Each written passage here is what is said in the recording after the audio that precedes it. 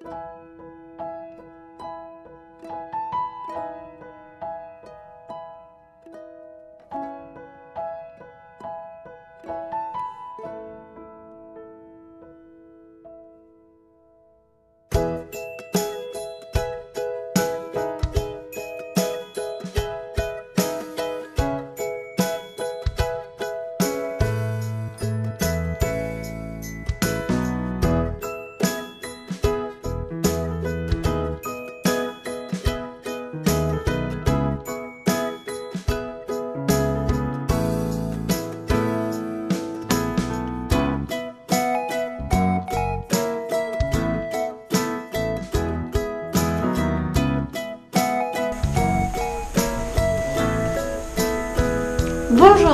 toutes à tous, euh, bienvenue sur ce nouveau podcast. Donc euh, pour ceux qui me découvrent, je m'appelle Zélie, Euh, j'habite dans le nord de la France et ben, bienvenue sur mon podcast créatif où on parle uniquement de tricot. Et pour ceux qui reviennent, eh ben, merci, j'espère que cet épisode va vous plaire aussi. Donc on va commencer par les articles terminés, par mes projets terminés. Donc la dernière fois je vous avais parlé d'un projet donc, que j'avais déjà réalisé dans des laines de la bonne taille en fingering, c'est le Ashburn. Donc j'ai décidé de le faire euh, en Malabrigorios parce qu'il se trouve que j'avais vraiment aimé le tricoter et euh, qu'une tricopine du tricoté de Wools l'avait déjà fait en Rios et que j'ai trouvé ce châle immensément beau. Donc, je vous avais montré la dernière fois euh, les pelotes que j'avais choisies. Alors, j'avais choisi du Sunset, donc j'en ai un reste. J'avais choisi du Sunset, j'avais choisi du Bobby Blue, dont il ne me reste rien, et du... Ça a changé de couleur, je connais plus son nom.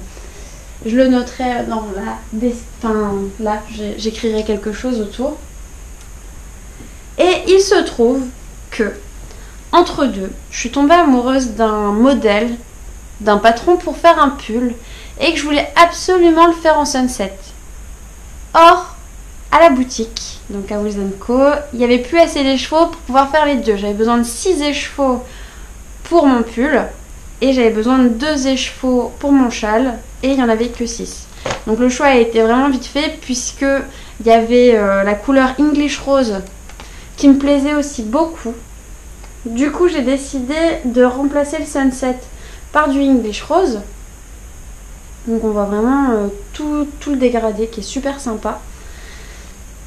Et donc voilà le résultat de mon Ashburn.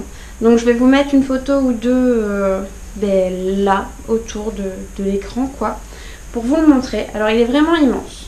J'ai commencé à le tricoter ici, donc j'ai commencé avec à peine 6 mailles il me semble. Et donc à partir de là, on fait plein d'augmentations. Donc tout ça ici c'est du point mousse. Ça avance. Donc là on voit vraiment le changement des chevaux. Euh, je les ai pas fait rayer, donc on voit la partie plus foncée, la partie plus claire. J'aurais peut-être dû rayer euh, et faire euh, changement de fil à chaque rang. Donc moi il me plaît beaucoup comme ça. Et ensuite je suis passée au Bobby Blue. Donc le Bobby Blue c'est plus du point mousse. C'est un genre de point texturé, je saurais pas lui donner un nom. Et sur l'arrière, donc on a des, des rangs qui nous permettent de changer de couleur, qui font des petits traits sympas grâce au, au jeté en fait. Donc de ce côté-ci ça fait des traits, de ce côté-là ça fait vraiment comme si j'avais juste changé de couleur pour une maille ou deux. Donc le Bobby Blue qui est en point texturé.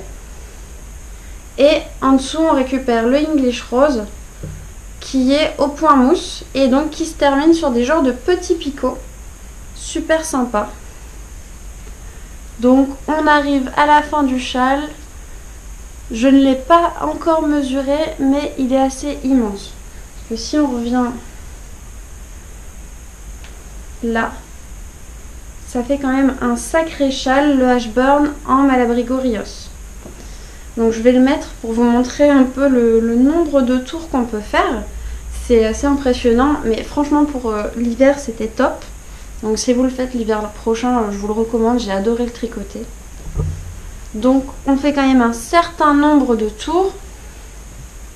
Et ça se finit normalement nickel pour faire un nœud quoi. Donc euh, pour l'hiver, je l'ai trouvé absolument top. Super chouette.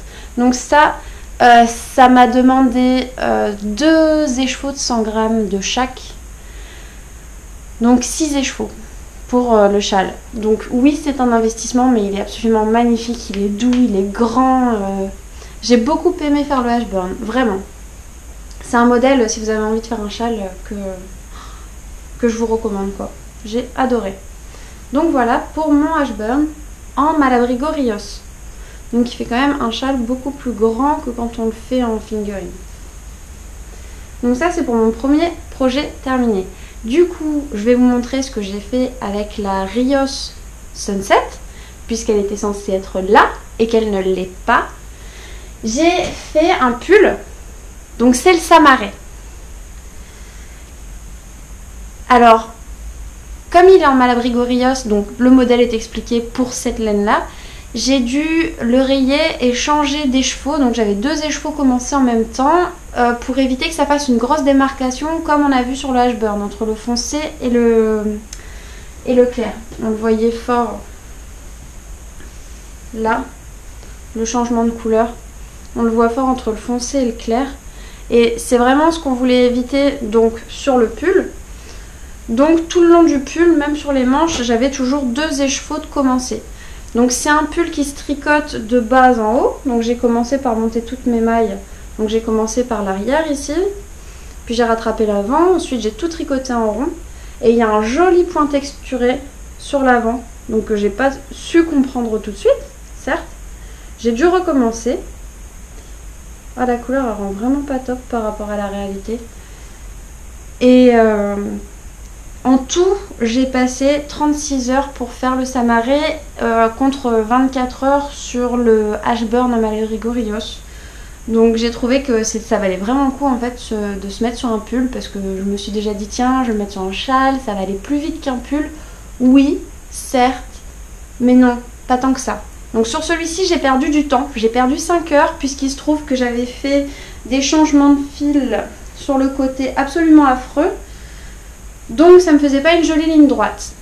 Là maintenant que euh, Lydie, ma conseillère technique euh, Co, euh, petite dédicace, m'a appris à passer mes fils. Donc ça fait vraiment super régulier. Et c'est sympa puisque du coup on n'y prête pas attention et je profite d'un pull qui a absolument pas de démarcation. Donc je vais le mettre pour vous montrer et parce que je le trouve super beau. Vraiment, le coloris Sunset, je l'ai trouvé sublime. J'ai adoré tricoter ce modèle. Il s'est fait super vite. J'y étais presque accro. Maintenant, euh, une chose, moi j'ai tricoté la taille S, donc qui correspond vraiment. Je me suis dit ça va être trop grand euh, avant de le bloquer. Il me paraissait absolument immense. Une fois que je l'ai essayé, là je me suis dit non. Euh, Heureusement que j'ai fait ma taille, sinon ça aurait pas fait euh, l'effet loose euh, que le modèle veut. Par contre, il demandait 6 écheveaux et moi, euh, voilà ce qui me reste. Donc là, j'ai un écheveau complet, donc 6 moins 1, 5. Et j'ai un demi-écheveau encore ici. Donc 4 écheveaux et demi pour ma façon de tricoter. Donc en soi, je suis contente de mon pull. J'aurais peut-être pu euh, le mettre dans un châle, donc c'est de la laine que je garde de côté pour, euh, bah, l'intégrer dans un châle quoi. Euh, j'adore ce coloris, je n'ai pas pu le mettre dans mon Ashburn parce que j'avais peur de ne pas en avoir assez pour le pull. Donc maintenant, voilà. Le Samaré, super sympa à tricoter, le modèle rend vraiment bien. J'ai adoré et en plus, pas de couture. Du tout. Là sur le haut on rabat euh, à trois aiguilles donc euh, vraiment sympa comme tout. Donc ça c'est pour le deuxième ouvrage terminé. Alors le troisième, on reste encore sur un projet en Malabrigorios parce que j'adore cette laine. Vraiment je suis devenue accro. Disons que les laines classiques comme Fildar et Bergère de France, j'y suis plus super attachée. Et euh, j'ai réalisé un bonnet donc euh, pour un collègue. Donc les indications que j'avais, c'est s'il te plaît un bonnet rouge, d'accord, pas de problème, rouge, qui ressemble à ça. Voilà, donc j'avais pas de patron, j'avais juste cette image. Donc, en soi, c'est un point euh, perlé, donc c'est le point sillon, puisqu'elle avait déjà, enfin euh, c'est pour la femme de mon collègue, qui s'était déjà faite une écharpe euh, en point sillon, en rouge. Et donc, ben, comme c'est super gentil, ils m'ont acheté la laine. J'ai commencé à réaliser un échantillon avec cette laine fil d'art qui s'appelle, j'ai laissé l'étiquette dedans. Alors je vous laisse regarder. Laine fil d'art, donc c'est la fil looping. 80% acrylique et 20% laine. Je me suis pas amusée du tout à la tricoter, mais euh, vraiment ça a été euh, une épreuve. Oui, c'est le cas de le dire. Donc je vous montre un petit peu pourquoi j'ai choisi la Malabrigo Rios plutôt que du coup euh, la fil express. Donc ça c'est mon échantillon en fil express pour voir un petit peu puisque j'avais pas de modèle pour mes dimensions. Et ça c'est mon échantillon en Malabrigo. Donc on voit tout de suite qu'il n'y a juste pas photo. Donc voilà euh, le comparatif de mes deux échantillons. Donc le choix a été vite fait. J'ai demandé à mon collègue s'il était d'accord. Il a dit mais pas de problème, prends la laine que tu préfères. Donc là on a euh, la file express et la Malabrigo Rios en coloris Ravelry Red. Donc j'ai abandonné euh, la file d'art. Voilà, que je mets sur le côté parce que j'ai pas du tout apprécié la tricoter. Je me suis servi de mon petit échantillon qui m'a dit Zélie. Euh, enfin, c'est surtout Lydie qui me l'a dit, euh, tout ça, Wills Co. et voilà. Donc pour ça, je le laisse là sur le côté.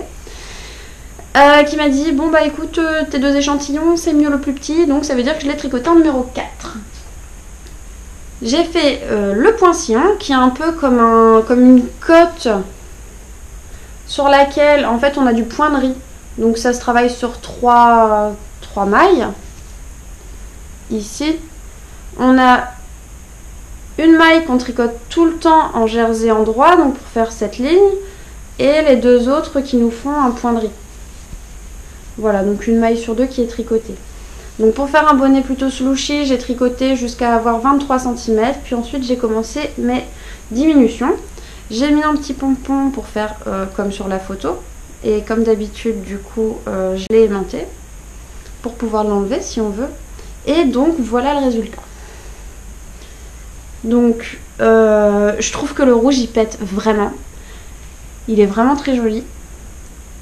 C'est ultra slouchy ultra euh, juste pour moi ça correspond plutôt pas mal à la photo maintenant j'avoue que je le préfère autant sans pompon si j'arrive à l'enlever parce que il est quand même très très fort cet aimant voilà. Donc voilà ce qui donne sans pompon. Ça fait un peu bobo je sais pas. Quand je l'ai montré à mon copain il m'a dit ah ça me fait penser au bonnet chouf. Oui hop là si on reprend dans l'autre sens ça fait un peu le, bonnet chouf. Donc voilà pour le bonnet.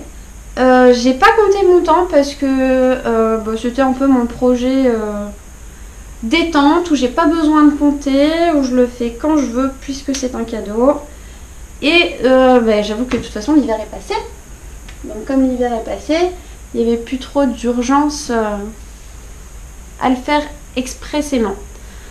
Par contre, donc je voulais faire un pompon rouge pour pouvoir changer entre ce pompon-ci et euh, le pompon en, même, en laine identique. Et avec euh, le pauvre petit reste qu'il me reste, c'est le cas de le dire, euh, j'ai peur de ne pas avoir assez de laine. Donc je pense pas faire de deuxième pompon, même si je lui avais dit que j'allais en faire un. Le pompon sera ridicule et ça serait de la laine gâchée en fait. Pour moi. Toujours pour moi. Donc ça c'est pour mon troisième et dernier projet fini en Malabrigo Rios. Donc lui c'était le Ravelry Red. Voilà. Par contre j'ai absolument pas écrit les explications puisque je l'ai fait un peu au feeling et que je les ai même pas écrits pour moi sur un brouillon. Donc ça c'est le bonnet à refaire. Euh, entièrement si je veux refaire le même. Totalement. Dernier projet fini. Dernier projet fini, c'est pas pour moi. C'est pour ma petite filleule qui qui s'est fait opérer là il y a pas longtemps, qui est toujours à l'hôpital, donc c'est pas grave. Mais pour marquer le coup, je me suis dit, on va peut-être lui faire un petit doudou, une couverture, quelque chose qu'elle pourra traîner avec elle, genre jusqu'à ses 18 ou 20 ans. Et euh, j'ai craqué sur un cahier de modèle qui est le Anthologie 1 Madère. Donc je l'ai téléchargé sur Ravelry. C'est euh, des modèles faits par euh, Carrie Bostic Hodge. Et on a 22 modèles dedans. Donc j'avais commencé par craquer sur un petit pull que je trouvais idéal justement pour, euh, pour ma filleule. Ici. Et quand j'ai commencé à regarder, puisqu'il me semble que ce modèle était autour des 6 euros, j'ai commencé à regarder et je suis en fait tombée amoureuse de la totalité de la totalité des modèles. Donc voilà euh, ce qui m'a fait craquer sur la couverture. La petite fille qui est vraiment petite petite à côté de cette couverture. Et donc, je l'ai réalisé en Woolly 5. J'ai toutes les étiquettes là-dedans. Alors, Woolly 5, coloris. On voit bien que le coloris est rose, certes. Woolly 5, Natural Knitting, coloris 45. Et donc voilà un petit peu ce que ça donne. Je suis en train d'en faire un deuxième justement euh, parce qu'il faut absolument euh, deux doudous. Donc voilà un petit peu pour les détails. Ça a été vraiment très très sympa à tricoter. Euh, le seul truc c'est ne même pas penser à pouvoir discuter en même temps. Parce que du coup à chaque fois que j'ai discuté j'ai dû détricoter. Donc oui on peut discuter pendant qu'on fait la bordure ici en point mousse au début et à la fin. Par contre pendant tout le reste de la dentelle absolument pas. Absolument pas. Donc voilà, je suis totalement amoureuse de ce modèle. Et donc le deuxième est ici en cours. Voilà, voilà, voilà. Voilà. Donc ça, c'est pour mon premier en cours. Le deuxième en cours, c'est toujours pour la petite puce. Pour ma petite puce chérie. Et euh, bah, ça sera pour quand elle sera un peu plus grande, soyons honnêtes tricote euh, quand même une grande taille, je tricote du 2 ans. Et c'est toujours euh, un modèle de euh, Anthologie 1 de Carrie Bostic Hodge. Mais c'est le Camellia Babe.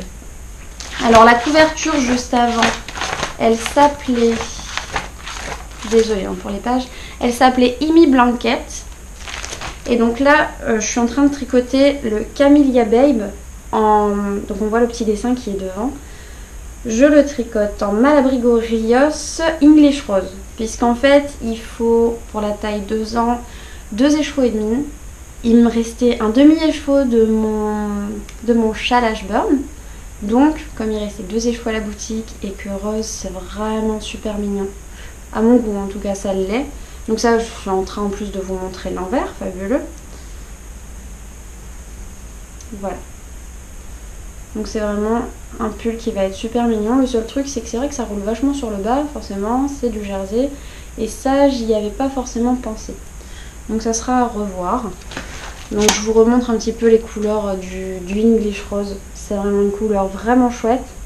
Et euh, du coup j'ai demandé à Lydie si on pouvait la laver. Et vaut mieux le faire à la main, certes. Mais euh, comme c'est pour une petite, c'est plus pratique. Elle se lave à cycle froid, laine, enfin le plus délicat possible, mais ça passe. Ça veut dire que s'il passe à la machine à laver, elle ne va pas se retrouver avec une taille 6 mois. Ce qui est chouette, très chouette. Donc là, c'est tout le matériel pour son petit pull. Ça, c'est mon deuxième encours. Je vous préviens, aujourd'hui, on parle presque exclusivement euh, de ce cahier de modèle parce que je l'ai trouvé fabuleux. Il y a des modèles tous plus chouettes les uns que les autres. Donc, mon deuxième encours, en ce moment, c'est avec ce color ici. Alors, encore une fois, j'ai besoin de mon anti-sèche. Alors là, c'est pour faire une écharpe. pour m'entraîner justement, donc c'est exactement le même motif que la Imi Blanquette. Donc là, c'est de la Malabrigo Mechita, coloris Teal Feather. Et donc, c'est exactement le même motif, sauf que j'ai choisi une couleur beaucoup plus foncée, première chose, et que euh, il faut encore plus de concentration quoi. Donc là c'est pas bloqué, on voit pas le dessin. Très honnêtement sur la couverture, tant que je l'avais pas bloqué non plus, on voyait absolument pas ce que ça pouvait rendre. Donc je pense qu'après blocage, il va devenir beaucoup plus large. Et donc c'est un tour de cou. C'est un snood sur lequel on pourra sûrement faire à peu près deux tours.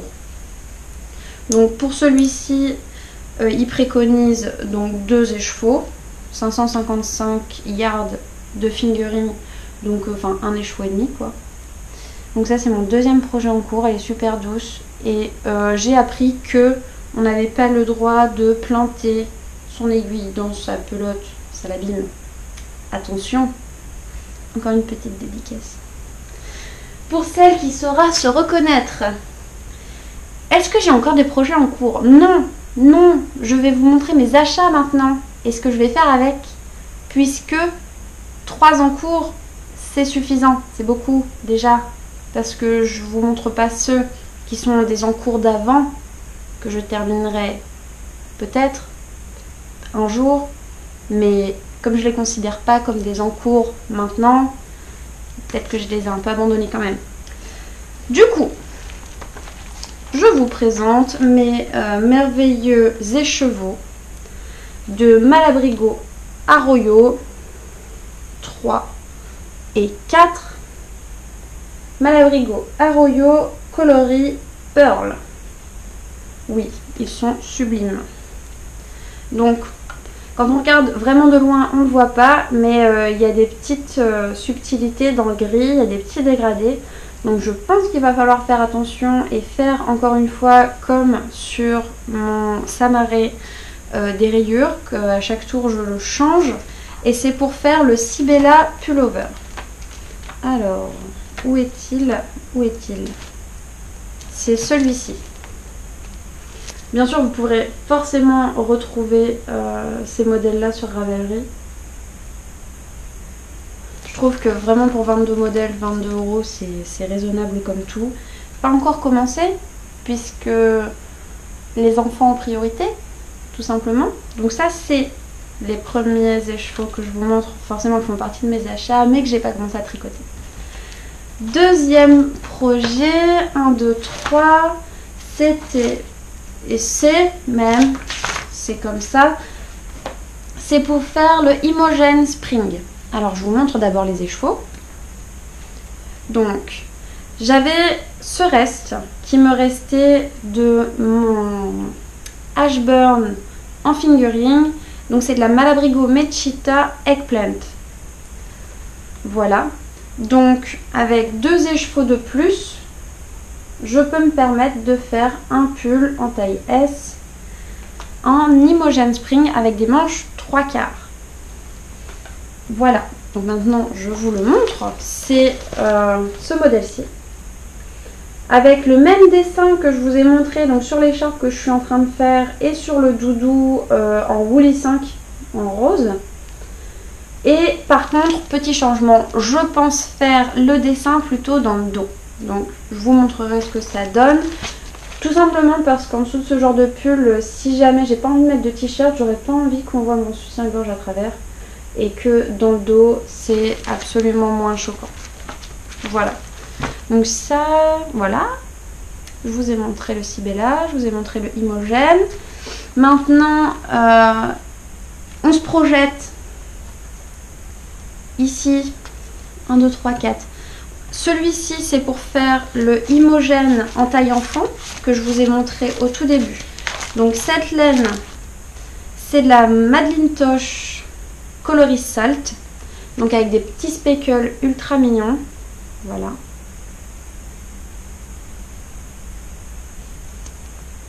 Bon, celui-ci, il est déjà bobiné. Pour faire celui-ci. Voilà. Donc là par contre je vais bien laisser le modèle, euh, enfin le, dessin devant puisqu'en dessous d'un petit pull comme ça en laine en général on met un maillot de corps. Donc euh, deux écheveaux pour ça. Et les derniers écheveaux qui sont pour moi, bien sûr, pour faire le Sibella cardigan. Alors je vous montre d'abord le modèle qui est plus foncé que la laine que j'ai choisie. Avec beaucoup de dentelle en fait sur le haut comme j'ai une petite poitrine c'est juste top. Topissime sublissime. Je vais réussir à vous montrer les autres photos. Voilà. Donc je suis désolée pour le reflet c'est pas top top mais euh, informatiquement parlant c'est le best que je puisse faire.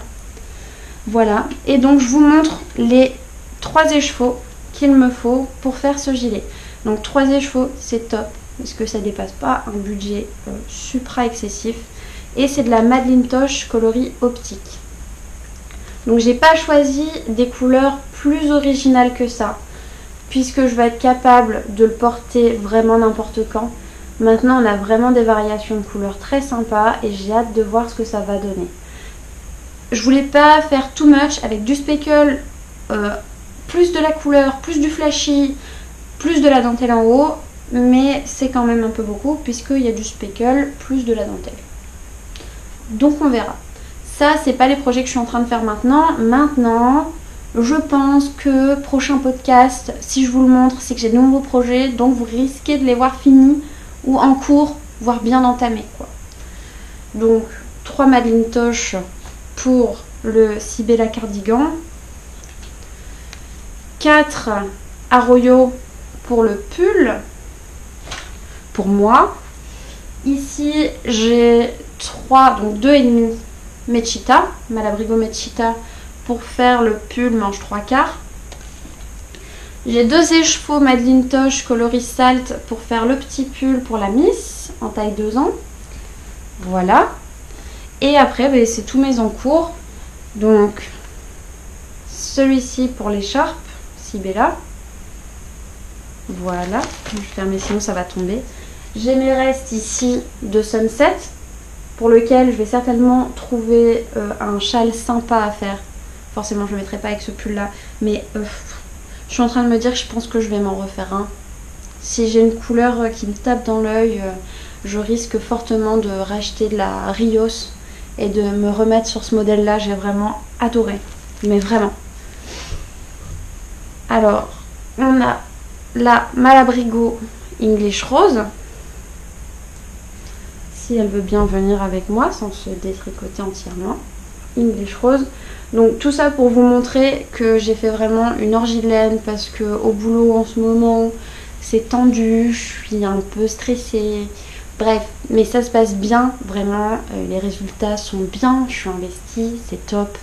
Mais en contrepartie, je dors pas top, et ça me fait beaucoup de bien euh, de pouvoir me retrouver avec les tricopines, aller à Wuzenko, euh, Vraiment, c'est un endroit où on peut se retrouver, qui est chouette. On se pose, on prend un thé. On peut y passer une ou deux heures juste pour prendre un thé et tricoter. Et c'est vraiment un endroit, j'aurais même pas cru que ça pouvait exister en restant un commerce. Enfin, c'est euh, un peu comme chez une amie où tu peux y aller tout le temps parce qu'elle est là. Enfin, normal, c'est son boulot, mais voilà. Donc, vraiment chouette. Voilà, c'est ce que je voulais dire. Juste un truc qui m'avait un petit peu déçu dans ce pull-ci. Donc c'est pas du tout le modèle puisque c'est moi qui me suis un peu gourée la première fois, j'ai dû détricoter. Ça c'est moi.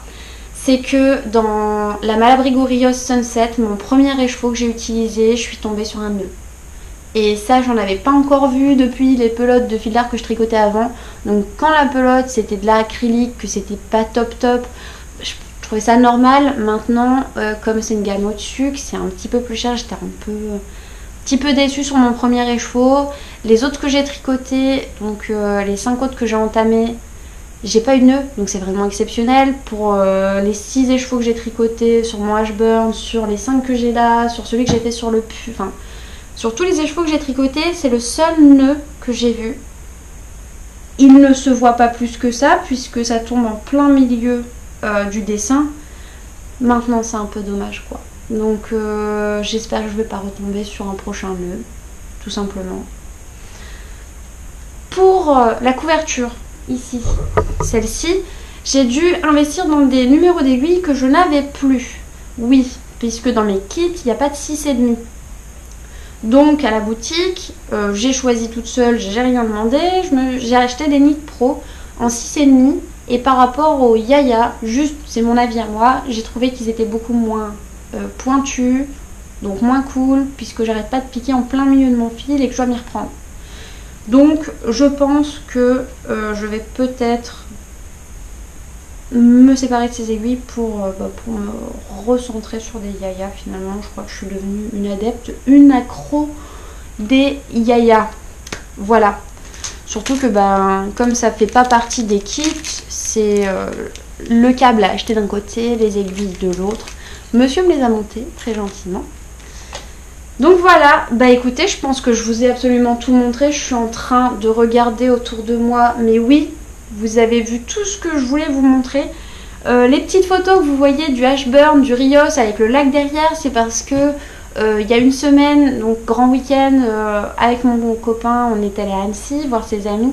Du coup, on en a profité pour faire une petite séance photo autour du lac. Ils s'y sont vraiment bien prêtés au jeu, puisque j'ai des belles photos de moufles aussi. Parce que c'est moi qui prends les photos, donc c'est pas sur mes mains, mais euh, vraiment top. Donc j'espère que vous allez les aimer. Et la dernière nouvelle, c'est que mon site web est en train d'être développé. Voilà, donc euh, d'ici trois semaines, un mois, certainement, peut-être, si ça marche bien, qu'il n'y a pas de bug, qui sera en ligne. Donc ce que j'aimerais faire, c'est que comme là, je suis dans ma période de professionnalisation encore pendant euh, un an et demi, je fais vraiment pas beaucoup de podcasts. Par contre, ce que je peux faire en étant tout le temps en déplacement, c'est me connecter faire des articles.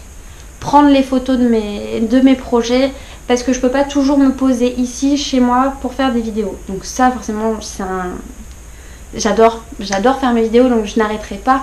Par contre, euh, ça sera de plus en plus espacé et donc euh, bah, du coup je vous invite euh, à me suivre de l'autre côté sur, sur un site où en fait je vais faire un peu une idée de blog et euh, des endroits où je vais juste mettre euh, des photos des projets avec euh, ben, les modèles, les liens vers les designers, vers les producteurs de laine que j'ai utilisés.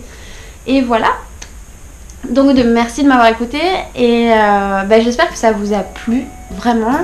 j'espère que vous allez me suivre pour la prochaine fois et n'hésitez pas donc dans les commentaires à me donner vos avis.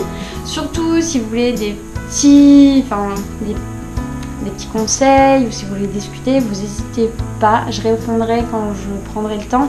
Plutôt le week-end. Ces week-ends à partir de cette semaine sont pas encore prévus. Enfin, genre, il y a un match de sport ou deux et c'est tout. Je vais bientôt, avec mon conjoint, signer un compromis de vente. Donc, on va sûrement déménager. Ça va être aussi beaucoup euh, de temps. Donc, je vous dis à la prochaine. Voilà, sans savoir quand sera cette prochaine. Mais c'est un plaisir. Voilà. Allez, salut. Merci.